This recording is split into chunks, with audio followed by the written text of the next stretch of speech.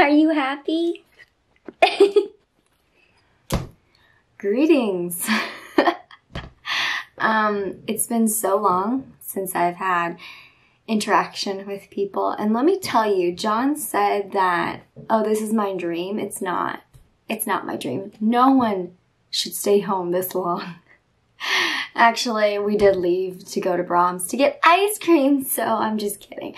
Um, hi guys. So John asked me to film a Sunday school lesson for you guys, but I know that's weird for two reasons. One, you're watching on the other side of the screen and we're not used to this. We're used to like seeing each other in person and all that. But two, I don't teach your Sunday school class, so I don't actually know how it happens, but I do know there's discussion involved and we can't do any of that, so that's a little weird. But I'm to try as best as I can to teach you guys, and then you guys can talk with your Sunday school teachers. Um, but before we get started, how are you? how are you guys? Um, how are you taking all of this in? What are you doing? What are you up to? Like, we never expected our spring break to get extended when we were going on spring break. And then we never expected for, you know, everything to go online and for it to kind of be summer. So it's a very weird time. I, I'm, it's, I can't imagine how hard it would be for seniors um, and just all that senior stuff taken away. And just my heart goes out to all of you guys um, because you didn't get to say goodbye to your friends as well. So a lot of that is on my mind. Um, I mean, if you ask me, how have I been? I've been fine. Um, you know, I would feel a little crazy and then I'd be okay. I would sleep a lot, eat, be okay, play games on my phone. So I don't know if John's gonna leave this in the editing because I'm gonna make him edit. okay, so this first part I would have hoped, you know, we would get to interact. But since we don't, I'm just gonna pretend and it's gonna seem like really crazy. You know what? It's actually gonna seem like a Sunday school Sesame Street slash Dora the Explorer type of thing. Cause it's like, you guys will be talking to me and I'll act like I know what you're gonna say. okay, so um, heads or tails, I want you to think of that in your head, okay? Heads or tails, and whatever it is, you're keeping that. All right. So I'm going to show you two pictures and one represents heads and one represents tails. So if you're thinking of tails or heads, you know how this goes. So if you do heads, this is your picture. What is that? Okay. If you do tails, this is your picture. Okay. Now, for those who did heads, now don't don't go back on me. I know if you chose heads. Um, if you look at this picture firsthand, you can't really tell what it is. Right? You can't really tell what it is. It's like very abstract. And it's like, I know it's white, but I can't really tell what it is. If you do tails and you got this picture, you know very clearly what's happening in this picture, you know what's in the picture, and you might even know what city it is.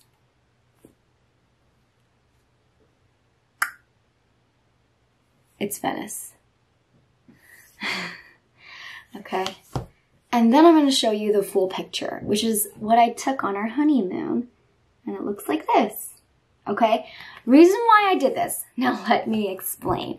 For those who chose heads and you got that abstract white type of photo, you couldn't really tell what it is. Sorry, my phone's going off.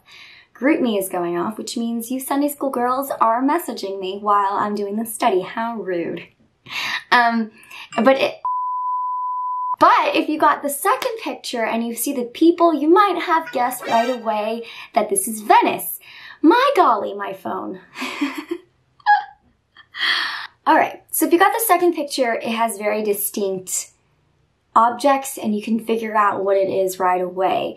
And just like that, sometimes you might think or you might call yourself a Christian, but from other people's point of views, they can't tell at all. You're like that abstract white wall. And they're like, I can't tell you're a Christian at all by your choices, by your behaviors at all. But then for other people who call themselves Christian, they're like the second picture where they can very well clearly they can clearly tell that they are Christians by their behaviors, by the choices they make, how they live their lives. And I thought that was a really great illustration. Now, if we were in person, all of us would have gotten in like a different picture and all that. But anyways, I just thought that activity was a really nice visual for us to know, okay, maybe you might call yourself a Christian, but other people can't tell at all. And so now we jump into the Bible study. I should pray. So I'm going to pray right now. Dear Lord, this is really strange and crazy times for us to be doing this, but regardless, I'm thankful that the way we can stay connected with the technology that we have today, I pray with your message that our eyes will be open, our heart will be open to what you have to say, and that we can really learn um, that we can really learn and take in the messages that you have for us. Lord, I, I pray that we take advantage of this time and choose to grow closer to you. I pray that we use this time wisely and that while these distractions are all taken away, that we can get closer with you as you intended. And in Jesus' name I pray. Amen. Okay, so from what I hear, you guys are doing Ephesians chapter 2. It's like verse 4 through 9, but we're just going to go ahead and read 1 through 9. Let's read it together. I'll read it in my fun voice. And you were dead in your trespasses and sins, in which you previously lived according to the ways of the world according to the ruler of the power of the air, the spirit now working in the disobedient. We too all previously lived among them in our fleshly desires, carrying out the inclinations of our flesh and thoughts. And we were by nature children under wrath, as the others were also. But God, who is rich in mercy, because of his great love that he had for us, made us alive with Christ, even though we were dead in trespasses. You were saved by grace. He also lifted us up with him and seated us with him in the heavens in Christ Jesus, so that in the coming ages he might display the immeasurable riches of his grace through his kindness to us in Christ Jesus. For you are saved by grace through faith, and this is not from yourself, it is God's gift. Not from works, so no one can boast. For we are his workmanship, created in Christ Jesus for good works, which God prepared ahead for time for us to do. So this part, I need you guys to get a piece of paper. I know you're sleepy if you're watching this in the morning, but get a piece of paper and make two columns. In the first column, I want you to write of what you think it means to be a Christian and just write down your list. And if you need, just write down five. You might write down born again, going to church, or whatever. Just write down your five, and then when you're done, then continue this video. Now that you wrote down five, look at your list and look at some things that people can fake to look like a Christian. So, for example, if you wrote down like going to church, listening to worship music, not cussing, or whatever, those can be faked by anyone, right? But the things that you cannot fake is if you wrote down things like saved by Jesus Christ, saved by grace, renewed, forgiven from my sins, those kind of things. And it's a really big wake up call because it's like, am I living like a Christian on the outside, but I actually haven't received Him on the inside? Food for thought. Okay, we're going to continue. Uh, I like how this worded it, so I'm just going to read it verbatim it says, when we overcomplicate the gospel with rules and cultural expectations, we distract from Christ. Whew, okay.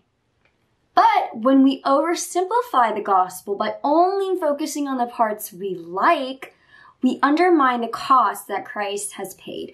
There is a beautiful fine line that we have to come to. And this fine line on one end, you're thinking of all the things that you have to do to be a Christian. I have to do this. I have to do this. I have to read my Bible. I have to have quiet time. All this list. The thing is, you can't earn your salvation. And that's something that we preach over and over because it's so important. It's so important that you get that. And then the other end, if you undermine it, you don't know the cost that Jesus paid on the cross. In a couple of weeks, very soon actually, Easter is going to come soon. And what Easter represents is a time and holiday where we can reflect on what Jesus Christ did for us.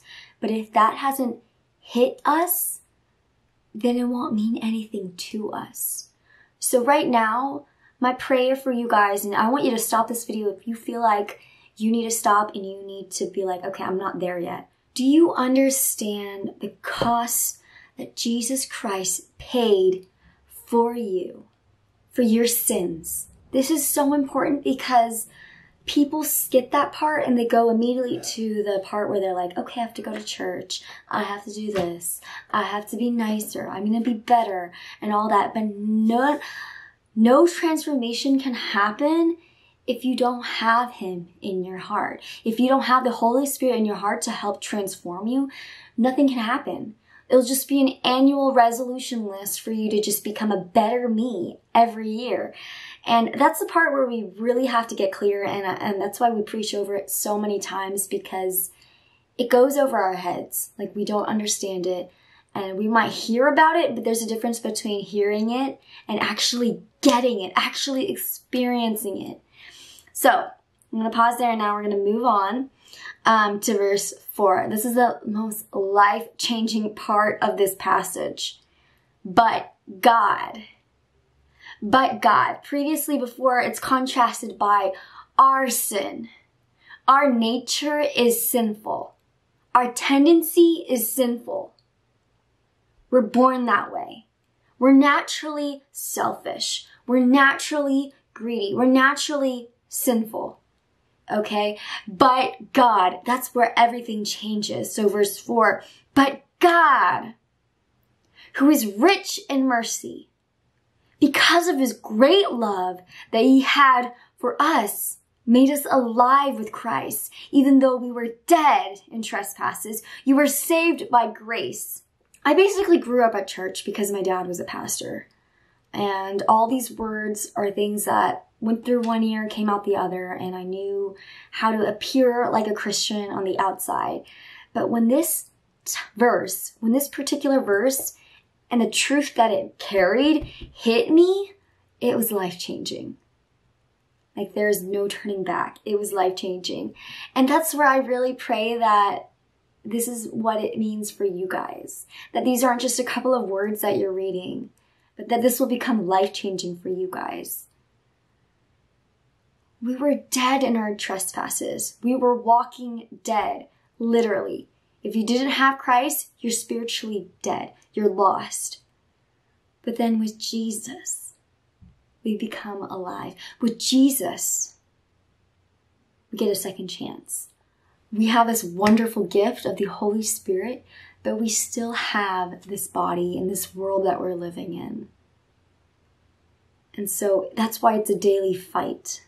In fact, in Ephesians later, it talks about the spiritual battles. And I say that so many times because I think we need to be reminded of it. I'm going to close out with this, verse 6. He also raised us up with him and seated us with him in the heavens in Christ Jesus there's going to be a day where we get to be with Jesus. We get to be where our forever home is. My question for you guys is Is this impacting the way you're living your life day to day? Knowing that someday that we're going to be with Jesus and he's going to ask about how we lived our life, the choices that we made, is that going to change the way you're living today after you watch this video? Is it going to change it at all? As Pastor Harold said last Sunday, let's walk a worthy life.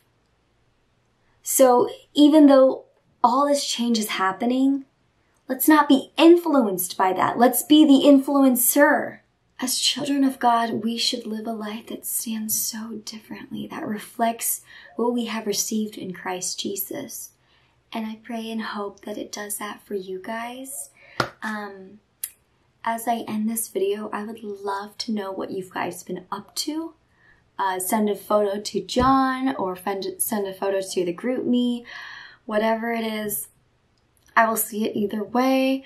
Um, yeah, that's really it. Okay, let's see. Okay.